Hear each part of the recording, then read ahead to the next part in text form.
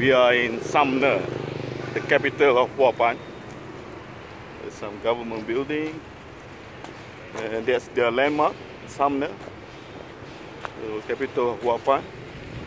government building.